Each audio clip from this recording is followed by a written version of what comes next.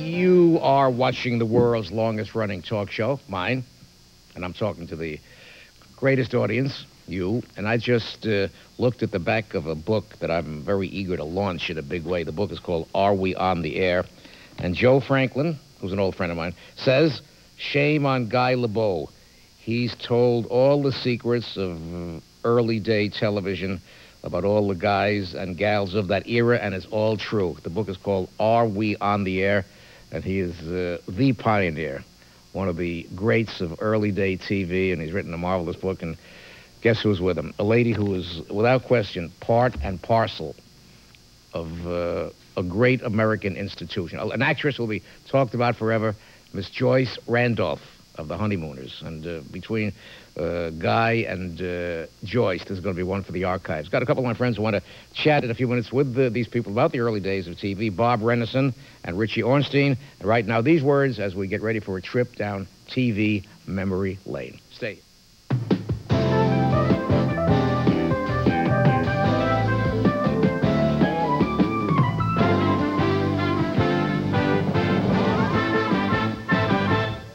I could do 1,000 hours with Guy Lebow and with Joyce Randolph. Uh, Guy, can I say it's so... Anytime you say, Joe, Great. thousand, you, you're all right for a thousand hours, huh? Great. Sure, let's go, Joe. Joyce, how have you been? Fine, thank you. You look so great. How can we not ask you, have you been a fan of uh, Guy Lebow for a long time? Oh, yes, I've, I've known Guy since, uh, oh, gosh, way back about 25 years ago at the Lambs Club. Mm-hmm. We're, we're old friends. Who'd you know? Who'd you know first, Art Carney or uh, Audrey uh, Meadows or uh, Guy Lebow? Uh, I, I think I knew Guy ahead, ahead of all of them. Really? Though I, I did meet Audrey ahead of the Honeymooners about uh, two years before that. We did uh, a revival of No No Nanette in Louisville, Kentucky with uh, Gene Barry and Audrey Meadows, um, uh, Hal Leroy. A wonderful cast. Uh, Jack Whiting. Did, did Jackie Gleason come to see the show that time? No, we didn't. No, that was that was ahead of that. So I had worked with Audrey b- before the honeymooners. I got so many things to ask uh, Audrey. Let me to ask uh, Joyce uh, Randolph. I mean Trixie. Guy, uh, the publisher is, Spy Publishers. and uh, so so when do you figure, Guy, that uh, that uh, sponsors and audiences began to take television seriously? When was the when it was uh, more than a game? or- Joe, I don't want to be cute, but I'm not sure they take it seriously even now. uh, my guess is that uh, about 1950, when we got out of those commercials, or we began to get out of those commercials that talk about buy now, uh, uh, and uh, in Connecticut, call this number, and in New York City, call the other number. May I tell a quick story uh, about... please, yeah, please. okay. I think uh, one of the most raunchy and outrageous things that happened in the early days of, uh, of television, commercially, was when there was a guy named Joe Rudnick, the head of Sunset Appliance Stores. You Mm. probably remember that, Joe. Love that. And uh, he insisted that he wanted to sponsor wrestling, and he was, with me at the microphone. He was making a great deal of money, so he didn't want the show ever to be preempted. But ah, in 1949, Nature decided to preempt him because they were going to stage a colossal, once in 50 years, uh, eclipse of the moon. Something was supposed to shade the moon, and so WPIX at the time said, well, Joe, we're going to preempt your wrestling show. And Joe said, no, you don't. I got a contract which says no matter what, catastrophe, volcanoes, whatever, you don't preempt my television show. So they had a big meeting in the sales manager's office, and they decided on this, and this has to be the raunchiest commercial ever. At the very precise moment that the eclipse occurred, Yes. remember, once in 50 years, Joe Rudnick's sign called Hickory 6, 4000 for the greatest in electronics was superimposed over the moon. I love that. Over the moon. And the next day, uh, Jack Gould, I think his name is Jack In the New York Times. in the New York Times, wrote in the Times and said, this is going to be television of the future. All the station had to do was ask everybody to open up the window, and they could have seen the eclipse. And Joe Rudnick and his commercial, that can't go. people that are listening to that man's voice, of course, you've seen him in a lot of movies, Woody Allen's radio days, but, but people who hear that voice, they're saying, this was a famed sports announcer. And it just hit me just this minute that in, your day when you began, or when I began, there were professional sports announcers. Now, now they're uh, former baseball players, the former, Rizzutos, former athletes. the, right, the yeah. Ralph Kiner and the Murcers and the Tom Seavers, and I guess that's. Uh, I mean, but in those days it was Mel Allen and, and Guy Lebow, Connie Desmond, Red, Red, Barber. Barber. Right, oh, right. They were great, absolutely great. And of course, kids like myself who learned sort of at their knees were able to have role models. You know what I mean? And, sure. Uh, I always wanted to sound like Mel Allen, and the only way I was able to do it by saying my name. This is Guy Lebow because he used to call me Hi Guy. It was never Guy. I'm, I'm a fan of Guy Lebow, not only uh, because of books that he writes, but because he owns a very good, very nice radio station. And Thank I you. listen, I listen to his. You, you- you do a show on your own station. I heard Yeah. you chatting, heard you chatting with Helen Hayes about a week or two ago. That's correct. Every every day at 2.30, Joe. WNWK 105.9. Mhm. But I'm an eternal fan of uh, Trixie here, Joyce Right. Randolph. And You it's know- hard, it's you hard know- not to be a great You know what I wonder many nights when I watch that show? Can I ask you a terrible question?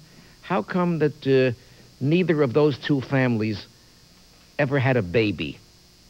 Because they seem such loving, caring, family-like people, and uh, they never had babies. I think Jackie didn't want to bring that into the script at all. Really? I think that was his idea that there were there were no babies. Well, he was the boss. But I mean, the other classic sitcoms like I Love Lucy, they, they'd, they'd actually show the birth, uh, they'd- the she was pregnancy. Lucy was having a real baby, you know. So it worked out, right? Matter of- Yeah. how in hell do you think of things like that? I, I- I, would listen, give it. There's sex in there. I'm so, I'm so. I'm so maternal. no. Well, when Jackie heard that I was getting married to Dick Charles, uh, we, we were all in Alan Dick's one night af- after uh, doing a show, and as he was leaving, he whispered in my ear, "No babies." no kidding. Yeah. What about the differences? what, what about the pressures of doing a sitcom, though, Joyce? Let's say then and now. I, I imagine in those days you had to go all the way through. If you made a mistake, you just have to Well, we, it was a live show. Yeah, oh, have to sure. ad so a we different punchline. all the way through. We, we never stopped for anything.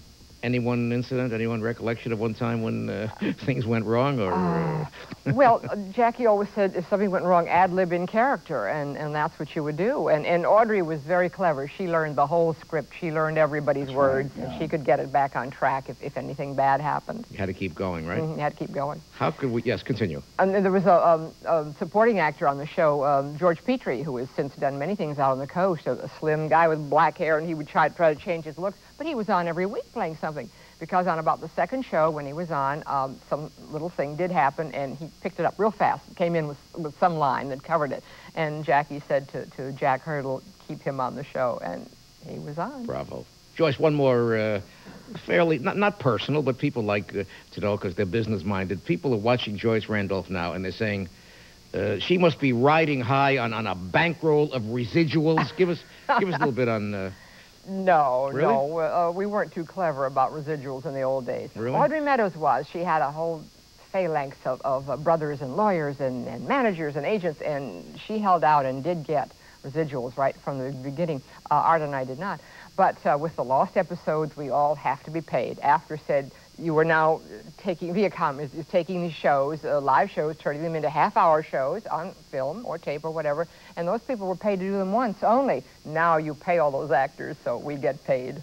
right, guy. Bravo for the union. Bravo. Bravo, Bravo for the for union, but, yes. but let me let me say that even if you have a contract, Joe, there's no guarantee that you're going to get residuals.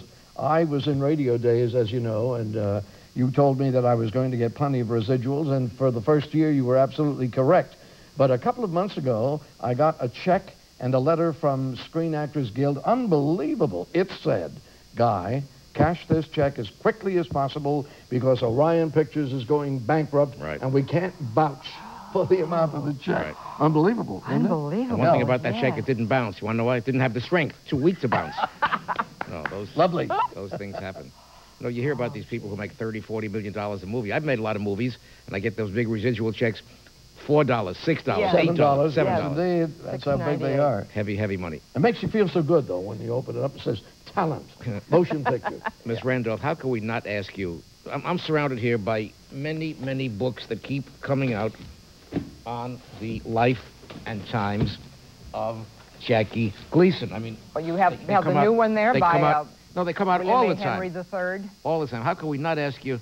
And these are all brand new books, right? Yes, yes. How can we not ask you to evaluate the man? I mean, not not professionally, because we know that talent-wise Oh. he was a giant. But I mean, I mean, genius. private a genius. But was he was he gracious and kind, or was he was he kind of uh, Well, as Bill Henry tells in that new book, um, he tells it like it is. Uh, Right. Jackie was a difficult man to know. Uh, he, he wasn't terribly friendly or terribly outgoing, at, at least not, with- not with me and, and some of the others. Uh, he had his own group of friends, you know, Toots Shor and, and all his cronies, and uh, he he stuck with them. He wrote a- he at wrote a- nine o'clock at night, he Saturday night, he, he took off on his own. Wrote a little rough shot once in a while, right? but, but not nasty, really. No, no, no, no. But, but May we ask he, what- was, he was a strange man. May we ask what keeps you busiest nowadays, Miss Randolph? Oh, well, I have uh, my wonderful life in New York with my husband, and, and we have a 32-year-old son. And uh, my husband is shepherd of the Lambs Club, which is the oldest theatrical club in America. We have activities there, and uh, we belong to the Players. And, And I saw you uh, one time at a nostalgia convention. Oh, there were- yes. There were four or five stars, and the other four, I got to tell you know, not to make you feel good, the other four were kind of lonely, and at Joyce Randolph's table, lined up all around the block. I mean, the, the popularity of, of, of, the, of the Gleason well, of- era. yeah, the Gleason era, of the, the honeymooners. Yes, I'm so proud to be part of it. So, mm. As a matter of fact, it's on twice a day now, isn't it? All is of it, them. uh, is it twice? All- how- how yeah, about- you can laugh in the morning and No, laugh I'm every saying- night I at did. 11.30. But, Yeah. Guy, when you say twice, a day, it's on probably five, 5,000 No, I'm times. talking a about day. here in New but, you know, all over. What, what, uh, what's one of your favorite anecdotes? Then I got a little surprise for you. Well, one of my favorite anecdotes uh, originated right here with Channel 9, WOR, uh, in 1947 or 48. that's, when it tele- was, that's when it was one W. Now it's two W's. I know. Right. But uh, if, if a station wanted to go on the air, they had to look for a, a place where they could have cameras and audience and things like that. And there were none around unless you went to an abandoned church or, in the case of WOR at the time, Channel 9, an old stable. And did it stink? Quite, quite actually. Uh, then they went, WOR went to uh, the Empire State Building. I don't know whether you were with WOR at the time. They had a small thing that looked like a one-room studio apartment. Right. And if you were an announcer, and I was at the time, wanted to do a station break or a little cut-in or a little off-camera commercial, you had to sit on a toilet bowl in a toilet. And I said, uh, the guy said to me, the AD, the first time he said, Guy, I want you to go to the toilet. And I said, I don't have to go. Right. And he said, uh, well, no, if you don't go to the toilet, they'll flush you out of it. A whole series of, you know, cliches. Of You could have been the first Howard Stern. Ah, that's true. I, Right. why didn't I think of that? You could have fallen a little bit behind in your work. No, I want to uh, listen. What I, what I want to do is bring in a couple people who want to chat with Guy Lebow, uh, schmoozing about the early days of TV, and I'm very honored to be featured in this book about the time that I was selling the, the unbreakable dishes. And guess what happened? They broke on the floor. We'll be right back with Guy Lebow and with uh, Joyce Randolph, with two people who want to chat with them and appear on Guy Lebow's radio show. Be right back. Stay here.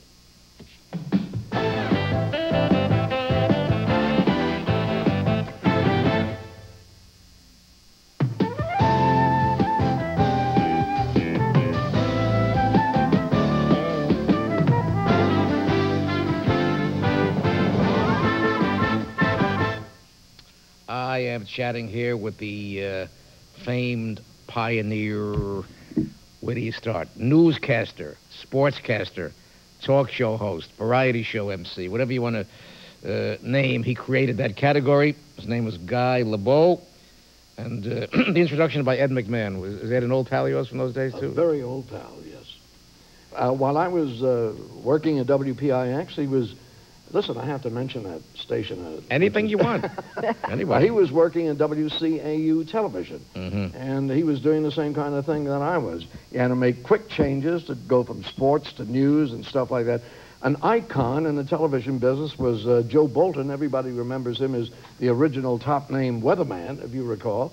And I remember Joe once doing the daily, uh, once doing the news break at six o'clock, uh, wearing nothing but uh, a shirt, tie, and uh, BVDs, because our changes had to be so quick. Joe, may I tell a very important story? he was known as Officer Joe. Officer Joe, but he was also a weatherman. May I tell uh, an interesting story about Channel 9? And uh, it always reminds me of the great power of television. Right. Uh, there was a, a, a fine actor and Olympic star by the name of Buster Crabbe. Larry And- Buster Crabbe. Larry Buster Crabbe. And he replaced um, uh, Weissmuller in the Tarzan series. Right. But all of that was going nowhere. The, the whole importance of Tarzan was dwindling down. So he came to New York and tried his fortune in about 1946, 47. He was busted. And he got a job to do some Olympic uh, lessons or something of that kind, swimming lessons in uh, England.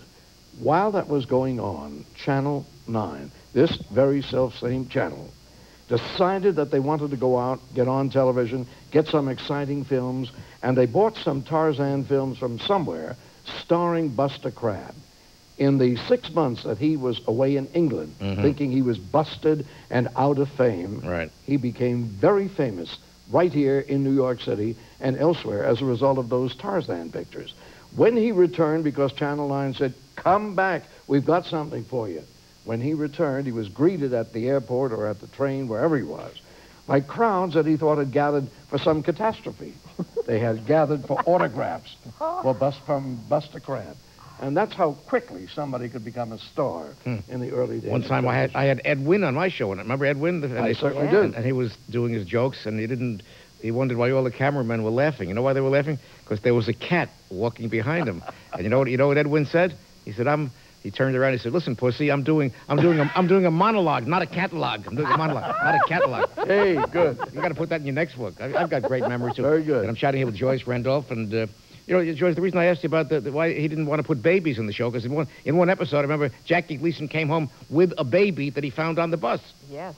So why would he be anti-babies? Well, he wasn't anti, but we, we just had that one script that was that way, and, and the next week there was no baby there, you know. Listen, I've got a friend of mine, Guy Lebow, a very close friend of mine, and uh, he was on our show recently. And when I told him that you'd be here, his name is Bob Renneisen, and Bob is the author of uh, How to Be Treated Like a High Roller, even though you're not one. And I was riding in a car one time with Bob listening to your radio show, and Bob said to me he's got one big ambition, and that is to go on your show and talk about this book. So say hello to Mr. Renneisen, Mr. Lebow. How are you? Nice pleasure. You. You All want I to give need is a tip, and you can come on forever. You wanna give a give- good tip, and you can get the you want station. you want to give a little resume, a little thumb thumb nose description of what happens in the book? Actually, I, I run a casino in Atlantic City, the Claridge, uh, Uh-huh. and you know this is probably one of the few books that's been written that doesn't talk about how to win, but how to get a comp or how to open a credit line or what goes on behind the scenes. All all the questions that people ask every day. So I understand you're very good to people who get VIP cards, like my son.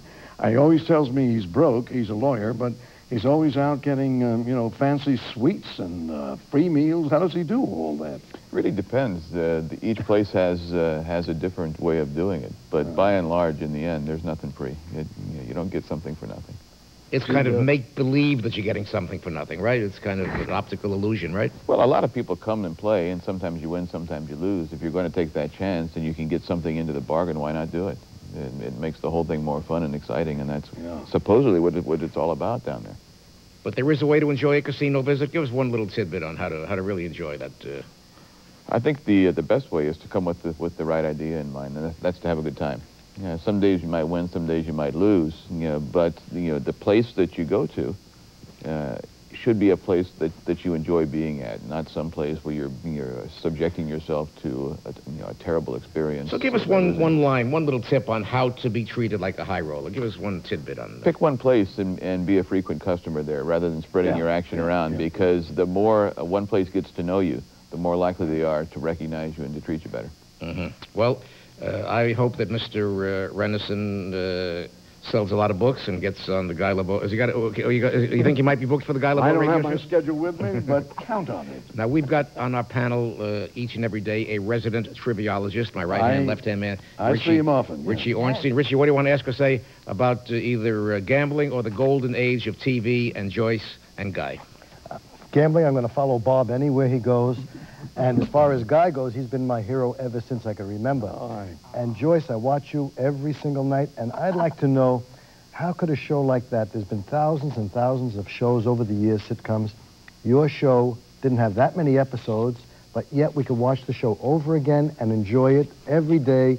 And uh, what was the secret? What was the ingredients that went into it that made it happen 40 years later, or approximately? Oh, Mr. Gleason's answer always was, it was funny. And that's, that was his answer. It was funny. But we had wonderful writers. don't, don't you think we had wonderful writers? We had a whole phalanx of them, but they were great.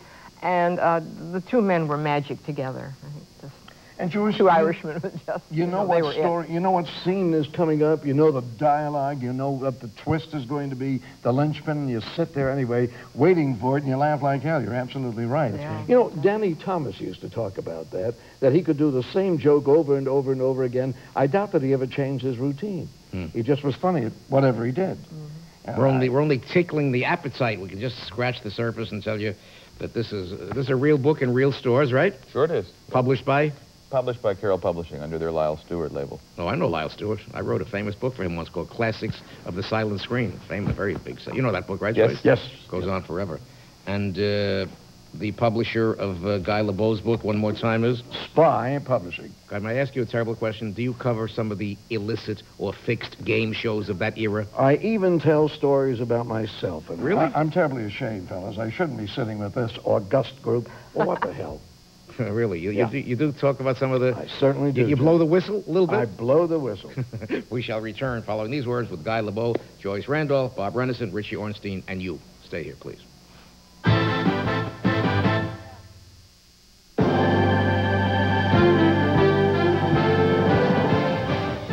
Guy Lebow says he wants to touch of Richie Ornstein and stump the panel. Yell it out, panel. Jump in. Harlow Wilcox was the announcer for what radio show? Can't remember that. Fibber McGee and Molly. That's right, Joe. That's easy. That's Does he have these fixed? I, I, No way. No This fixed. man is a genius. I always tell him that. In 1944, who won the Best Supporting Actor Oscar for the movie Going My Way? Barry Fitzgerald. That's right. Very Oh, good. Joe, put it right there, not fixed. He knows this stuff. In 1955 movie The King and I, whose frequent refrain was etc., etc., etc. Oh, of course. Yul, uh, Yul Brynner. Yul Brynner, Yeah, Joyce, you have it. Clark Gable, Jack Oakie, and Loretta Young starred in which 1935 movie about a Yukon adventure?